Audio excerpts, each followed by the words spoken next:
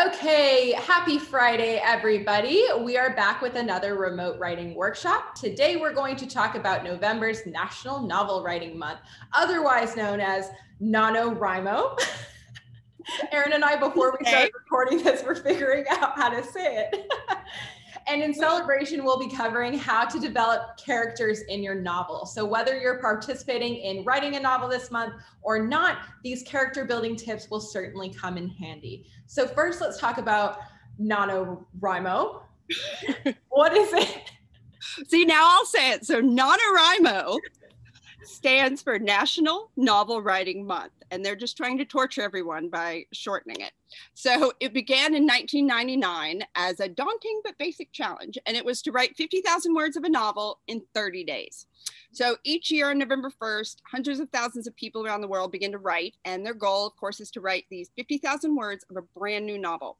And so all these amateur writers come together, where they're teachers or gas station attendants, anyone. Um, they're not published, and everyone just supports each other. And a lot of times, brilliant new writing careers are born in this month. But of course, you know we've we've started November already, and you don't have to wait until November November 1st to start this challenge. You can pick any month, any 30 day period, any time period. So simply come up with a date, start date, end date, and write until you get 50,000 words. And as we've discussed, don't self edit, just write and keep going. Awesome. Sounds like this is the perfect mission for our viewers. And of course, character building is one of the most important aspects of writing a strong novel. So, how does a writer begin to draw a compelling lead character? There are so many things that go into it. But first, you want to explain the character's reason for existence. They need to have a goal and motivation within the story because the character's goal is why the entire story exists. And it's why your character is going on the journey.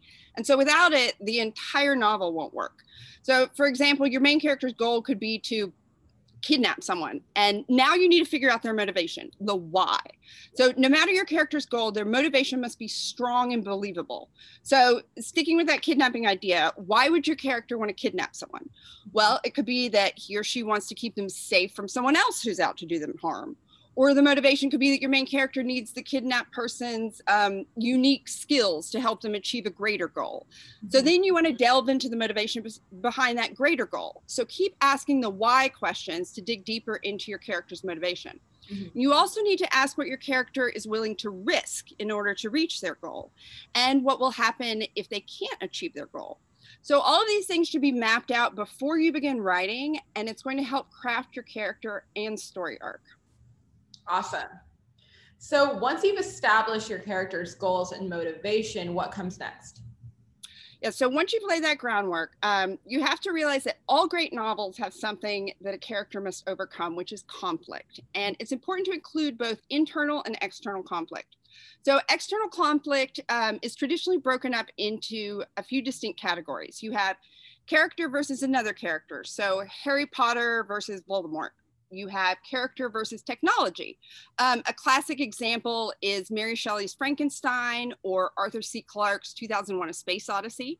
You also have character versus nature, such as Moby Dick, Captain Ahab. Uh, character versus society, uh, a great example is the Scarlet Letter. So the community turns against Hester Prynne. And then you also have character versus supernatural, and that could be something such as War of the Worlds. Pretty obvious, character versus supernatural. So then we have internal conflict, which is character versus self. And that's when your character is struggling with things such as mental health, moral dilemmas, or basically just their own nature. Mm-hmm. And this takes place within the character's mind. Um, a really great example is Bridget Jones. Throughout the whole book, she's struggling with her own self doubt. Um, of course, all these motivations can overlap. You don't have to choose just one. Get really messy, pick external and also internal conflicts and play around with them. All right, so now that we have the character's goals, motivations, and conflicts established, is it time to start writing? No, wait. There are other things to consider before you even begin. You want to make sure your character has strengths and flaws, and you want to make sure that both are meaningful because you don't want to have a character, for instance, who has these incredible strengths that help her throughout the book, and then you just kind of throw in random flaws that don't impact the story, like she's not stylish or she's bad at math. You want the flaws to be things that are going to impact the story. Um, like, does she completely panic in really tough situations? Uh, does she have short-term memory loss that's going to get her in difficult spots? Is she a prodigy with the ability to affect major change, but she's also addicted to pain pills? Uh, and so she can't function on a daily basis. So you want to balance the strengths and flaws and make them equal. Um, you also want to decide whether your character will be dynamic or static.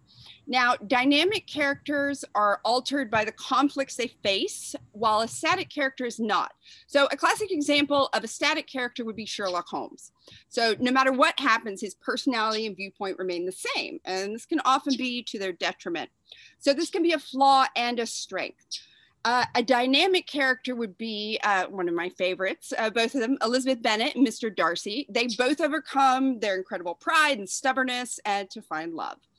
So then you want to decide how much your dynamic character will change and how they will change. Are they going to change for better, for worse? What inspires their change? And finally, does this change affect the people around them?